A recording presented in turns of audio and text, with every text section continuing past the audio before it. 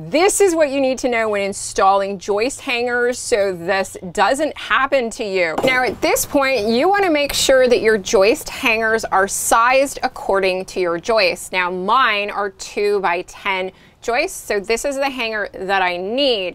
If you take a look over here, you can see that someone's actually replaced these joists previously with a two by eight hanger See, it's a little bit smaller. That is actually okay because this can be used for 2 by 10s but it's always better to use a bigger hanger. We're gonna need a bigger hanger. Go with a bigger hanger. Now, if you wanna do outdoor deck building or landscaping, you should know what galvanized is. This right here is galvanized steel. That means it was dipped in zinc, which is a protective coating once. The manufacturer looked at this and said, well, that didn't cut it. We gotta do things differently. What did they do?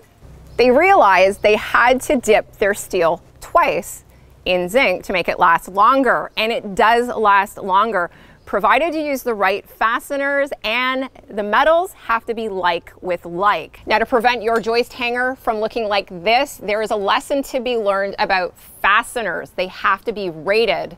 Now rated fastener is an approved fastener. It means you're allowed to use it and the rules are strict here. You can only use approved nails or screws. Now what you should look for when you buy your fasteners is this. You wanna make sure you check the box firstly for the size I'm going with two by tens. You can go with the nails or you can go with screws. And these right here are your nails, your approved fasteners for your joist hangers. And you can tell the sizing because it's stamped right there on the head of the nail. It says 10. So we're not using these today because it's the wrong size. We'll be using nine. And then you got your joist hangers like this. These are good for your two by 10s. Now, when you pick up your joist hanger, you have a choice of using a rated screw or a rated nail, but head to head, what is better? What's above me here right now?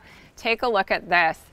This is a deck, and what is bearing down on a deck? Bearing down, that's a hint. Bearing means there's a lot of weight or there's a lot of load. So which one is stronger for load capacity. When you have a lot of people on your deck, I think this will surprise you, but the screw comes out as the winner for the best in terms of load capacity when you compare directly this nail to this screw. And a lot of people don't know that. Now, you should know that load capacity will vary depending on fasteners and the sizing. So this is really just an apples to apples comparison for joist hangers. Now, there are a few terms you should absolutely know when it comes to deck building. Number one is tensile strength. You should absolutely know if you are a DIYer specifically tensile strength. Tensile strength is the ability to resist being pulled apart by force. So what they do is they test fasteners like screws and nails in a special machine called a tensile tester. All they do is take fasteners in a laboratory and they pull them really hard in both directions. And under a lot of strain, the nail will break first, while the screw has the greatest tensile strength. That's why we use it so much, and it has to do with the threading and the way it's designed. It resists that pull apart tension, making it an excellent choice when fastening two materials together and you don't want it to pull apart. That's that pull apart force, right? So when force is applied this way, equal pressure, screws come out the winner, which is really good to know in construction. And that's why we see structural screws so much in deck building and beyond. Now, on the other hand, the advantage of nails is their shear strength. Shear is like scissors. Shearing, that action is called shearing. And the shear strength, the up and down motion, the forces, but we often see it in construction as side to side force, which is why we see a lot of nails in framing. Shear strength is gonna go to nails. So what you should know, professionals are using nail guns. These are heavy, they're expensive. I don't even use one on the channel because you guys don't need to buy one of these unless you want to. I actually like to use screws instead and that is what I'm using today. Take a look on that box. This is what I'm using, two and a half inch. You see that right there? That's this screw here. That is what we're using for double shear nailing. This one, that's an inch and a half, so that's a big difference. So when do we use inch and a half screws versus two and a half? Well, it really is important that you know this. This is what we call this X double shear nailing. So your joist sits here, Your ledger is here and X marks the spot. That right there is two points of connection between your joist and your rim joist. This makes your installation extra strong. That is why it is critical, see that? You need those extra long screws. A lot of people will use an inch and a half and it does, look at this. See that puny nail? It's an inch and a half and it's not gonna go remotely into your ledger or your rim joist. What you need to know when hanging your joist, there's a prong at the top. Keep your eye on that. You're gonna need a hammer. Slide it under your joist. Now, biggest mistake is joist hangers cannot sit like that. There can be absolutely no gap right here. Has got to be as tight as you can get it. So hammer underneath, you wanna get it tight. Okay, super tight. I'm holding with one hand. Get your hammer, whack it. Now you're gonna squeeze it. Quickly, grab your hammer, hit the prong. See that? Nice, tight. Can you get it tighter? Yes, we can. Same thing. Hit the prong, nice and tight. Once you have it there, I always start on the right-hand side because I'm right-handed. It's a hex head put it on your driver. Now this is the ledger side. If you have a floating deck, it's a rim joist, but I'm gonna go into my ledger, always on this side of the leg. That's called a leg. Everything is body parts in construction, hey? What you need to know here is with joist hangers, every hole needs to have a fastener, whether you're using nails or screws. And I put one in here on the other side. We can continue on with all these holes that need to be filled.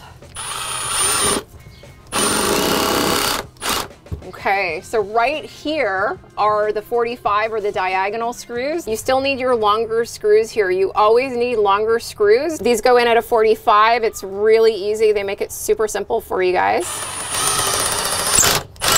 So that's squeezing in nice and tight and the screws do a really good job here. And everything I'm using, I will link in the description for the sizing and what you need. Looking good. What about the other side now? Don't forget the other side. She's a tough boss.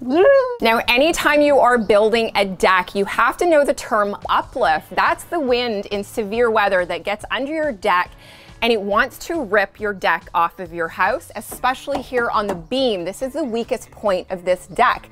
Why? Because there is no connector because a long time ago they didn't make these. This right here is a hurricane tie and in severe weather areas, this is a part of your building code. Now you want to check and confirm with your local building code because this is not required in some areas further to the north where I live, but it is starting to become code in those areas too. So keep that in mind. Take your hurricane tie I'm just gonna slip that under your joist uh, so that it is nice and secure.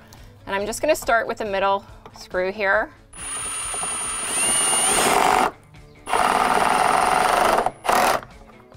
So these are great.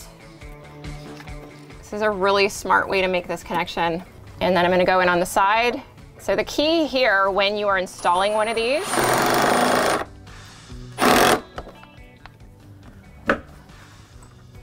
is to use the fasteners that are required in your area on your beam.